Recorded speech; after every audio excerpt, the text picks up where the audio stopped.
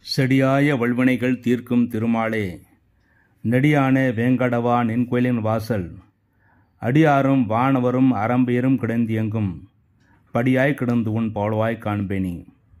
உலகெங்கும் இருக்கின்ற சர்வம் டிவி நேர்களுக்கு என்னுடைய பணிவான வணக்கங்கள். வருகின்ற மே நான்காம் தேதி வியாழக்கிழமையன்று ஸ்ரீ நரசிம்ம ஜெயந்தி. நரசிம்மரை வழிபாடு செய்வதற்கு மிக மிக ஏற்ற தினமாக அன்றைய தினம் அமைந்திருக்கிறது.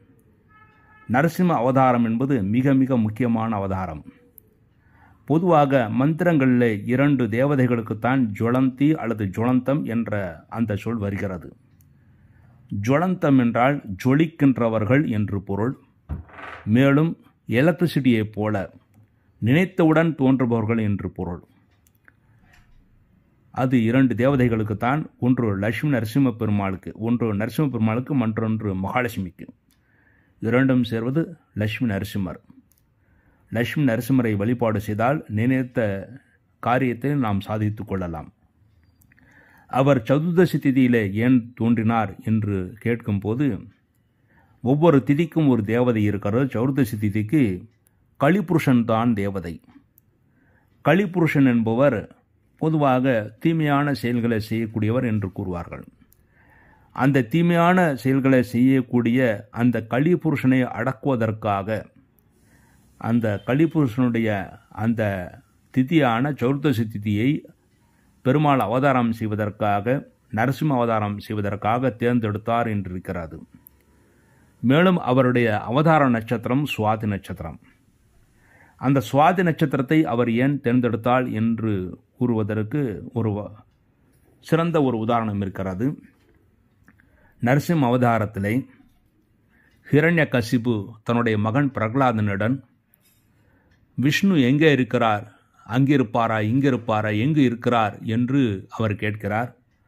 அப்பொழுது பிரகலாதன் அவர் எங்கும் இருப்பார்? தூணிலும் இருப்பார்? துரும்பிலும் இருப்பார்? என்று பதில் கூறுகிறார்.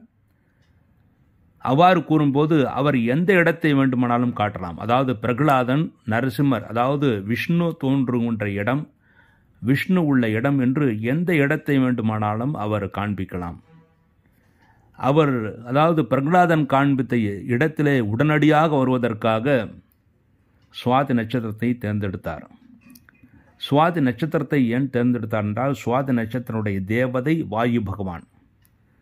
சுவாதி நட்சத்திரத்தின் தேவதை வாயு பகவானாக இருப்பதனால் வாயு எப்படி வேகமாக வருகிறதோ அதை போலவே வேகமாக பிரகலாதன் எங்கு காண்பித்தாலும் உடனே தோன்ற வேண்டும் என்பதற்காக அந்த சுவாதி நட்சத்திரத்தை தேர்ந்தெடுத்தார்.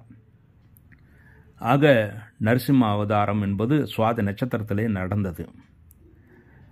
பிரகலாதன் ஒரு தூணை காண்பித்து இந்த தூணிலும் இருப்பார் என்று கூறிய பிறகு அந்த தூணை இரண்டாக பிளந்தார் இரண்ட கசிபு அதன் பிறகு அந்த தூணிலிருந்து வெளிப்பட்டவர் விஷ்ணு பகவான். அந்த விஷ்ணு பகவான் நரசிம்ம அவதாரமாக வெளிப்பட்டார். நரசிங்கம் என்பது பாதி உடல் அதாவது கழுத்து வரை மனிதனுடைய உருவம். அதன் பிறகு முகம் மட்டுமே சிங்க வடிவம். அதைத்தான் நரன் நரன் என்றால் மனிதன் சிங்கம் என்றால் சிங்கம். அதாவது பாதி உடல் நரனாகவும் பாதி உடல் சிங்கமாகவும் இருக்கின்ற அவதாரம் தான் நரசிங்க அவதாரம். அந்த நரசிங்க அவதாரம் எடுத்து ஹிரண்ய கசுபுவை வதம் செய்தது வருகின்ற மே நான்கு வியாழக்கிழமை சௌர்தசி திதி அன்று. அன்றைய தினம் காலை நேரத்தில் சித்திரை நட்சத்திரம் மாலை நேரத்தில் சுவாதி நட்சத்திரம் வருகிறது. மாலை நேரத்தில் தான் நரசிம்மர் அவதாரம் செய்தார். அந்த நவசா நரசிம்ம அவதாரம் சுவாதியில் நடந்தது. பொதுவாக சித்திரைக்கும் ஒரு நல்ல ஒரு அர்த்தம் இருக்கிறது. சித்திர நட்சத்திரம் என்பது சக்கரத்தாழ்வாருடைய நட்சத்திரம். நீங்கள் எந்த பெருமாள் கோயிலுக்கு சென்றாலும் சக்கரத்தாழ்வார் சந்நிதிக்கு சென்றால் சக்கரத்தாழ்வார் முன்பக்கம் சக்கரத்தாழ்வாராகவும் பின்பக்கம் நரசிம்மராகவும் இருப்பார். அதாவது முன்பக்கம் சக்கரத்தாழ்வார் என்பது அவர் அவதாரம் செய்த சித்திர நட்சத்திரம் பின்பக்கம் நரசிம்மர் என்பது அவர் அவதாரம் செய்த சுவாதி நட்சத்திரம். இந்த இரண்டு நட்சத்திரம் ஒன்றுக்கொன்று இணைந்த நட்சத்திரங்கள். சித்திர நட்சத்திரம் சுவாதி நட்சத்திரம் இரண்டும் துளாராசிலே வருகிறது. இந்த சித்திர நட்சத்திரம் சக்கரத்தாழ்வார் அவதாரம் செய்த நட்சத்திரம் எதிர்களை சம்ஹாரம் செய்கின்ற நட்சத்திரம். சுவாதி நட்சத்திரம் நரசிம்ம பெருமாள் அவதாரம் செய்த நட்சத்திரம் நரசிம்மர் அவதாரம் செய்து எதிர்களை சம்மாரம் செய்தார். இந்த இரண்டு நட்சத்திரம் கூடுகின்ற நாள் வருகின்ற மே மாதம் நாலாம் தேதி வியாழக்கிழமை. அன்றைய தினம் நரசிம்ம பெருமாளை வணங்குவதற்கு இன்னொரு காரணம் இருக்கிறது. பொதுவாக சதுர்தசி திதியிலே ருண விமோச்சன ஸ்தோத்திரம் பாராயணம் செய்து நரசிம்மரை வழிபாடு செய்தால் கடன் சுமைகள் தீரும் என்றும் கூறப்படுகிறது.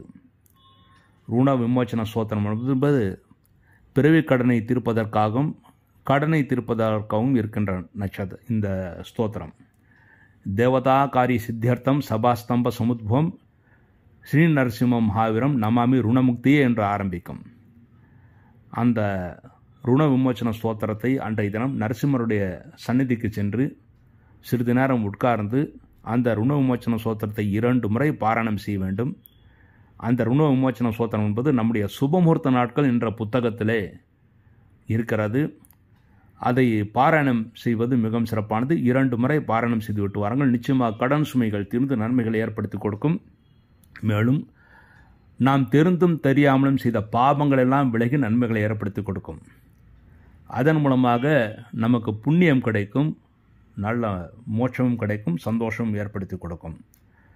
ஆக அன்றைய தினம் நரசிம்ம பெருமாளை வழிபாடு செய்வதற்கு மிக ஏற்றதனமாக இருக்கிறது. நரசிம்ம பெருமாளுக்கு மிகவும் உகந்த பிரசாதம் என்பது பானக பிரசாதம். பானகம் நைவேத்தியம் செய்வதும் மேலும் சர்க்கரை பொங்கல் நைவேத்தியம் செய்வதும் மிகவும் சிறப்பானது.